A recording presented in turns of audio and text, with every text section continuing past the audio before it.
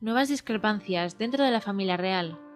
Y es que, tal y como adelantado es diario, a la reina Leticia no le habría hecho gracia que su sobrina Irene Urdangarín vaya a permanecer en el Palacio de la Zarzuela junto a la reina emérita.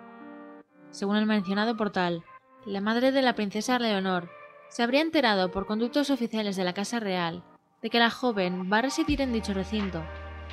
La reina Sofía, la que invitó personalmente a la joven a vivir con ella, no habría consultado de esta decisión ni a su nuera ni a su hijo, Felipe VI.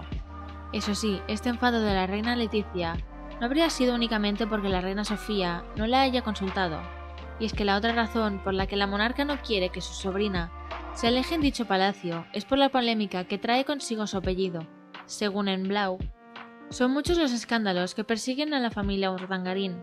Por esta razón, la reina Leticia no querría que a sus hijos, Leonor y la infanta Sofía, se la relacionara con Irene Urdangarín, aunque ésta se trata de su propia prima. Bien se sabe que desde que los Urdangarín se vieron salpicados por el caso Noos, esto supuso un peligro para la familia real en general. Sobre todo, este caso de corrupción por parte de Iñaki Urdangarín Indirectamente, acabó perjudicando a los reyes Felipe VI y Leticia, y a la princesa Leonor y a la infanta Sofía. Desde entonces, el apellido Urdangarín ha estado manchado. No quiere que sus hijas tengan demasiado contacto con ellos, aunque sean familia. Al final, el peso de la corona recae sobre ellos, y son conscientes de que cualquier escándalo familiar puede ser perjudicial para su estatus social. De ahí que la reina Leticia pese a no tener nada personal contra su propia sobrina.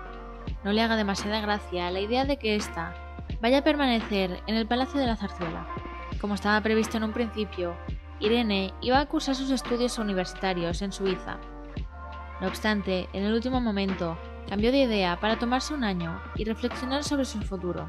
Para ello, ha decidido permanecer en su país natal, concretamente junto a la reina Sofía, para estudiar un idioma extranjero el alemán, y sacarse el carnet de conducir.